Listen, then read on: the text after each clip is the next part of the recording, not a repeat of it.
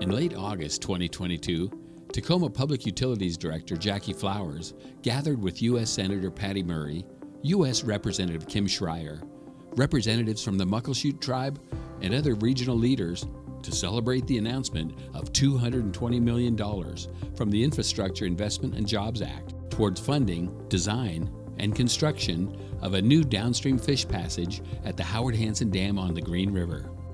Our coalition supports this project because providing clean drinking water is vital to the people that call this beautiful place home.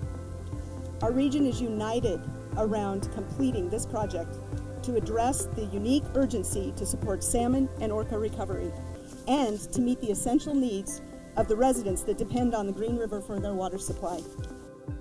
The Green River Municipal Watershed has been Tacoma Water's primary water supply since 1913.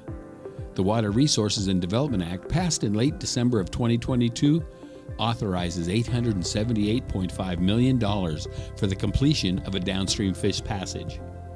For 60 years, this dam has been essential to our communities, but this river has supported salmon for much, much longer.